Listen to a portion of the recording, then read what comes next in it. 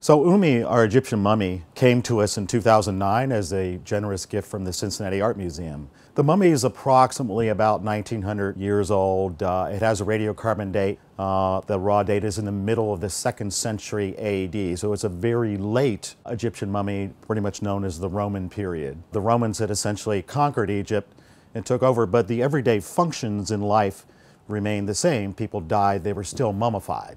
It's kind of a mystery. We know we have a three to five year old boy, but we really are not sure how he died or how he lived or how important he actually is.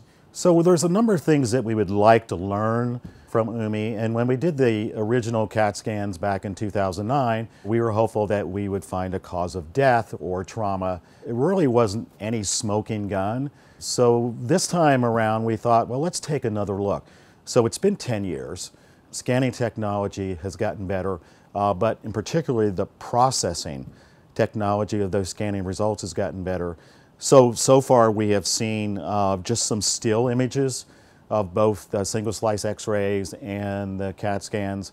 We're looking at one instance of perhaps uh, uh a sort of a cranial fracture, but whether that is um, post-mortem or, or you know, something to do with the cause of death, we don't know yet. So we're going to have to have some people, probably other than radiologists, and get pediatricians and so forth, people to look at that.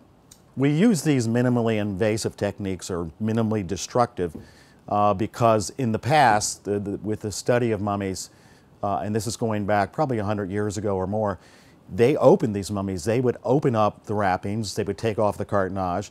They wanted to see the body. But it's kind of like an orange. When you take the peel off of an orange, uh, the, the peel protects it. So we don't want to unwrap these. We wanted to use the most minimally invasive techniques that we could. And thankfully, medical technology has those techniques today to see what's inside of it. And not only that, we can actually reconstruct a physical model of the body, the amulets, the board it's resting on, and anything else. And that's pretty cool for museums because we want to reconstruct what's there without actually touching it.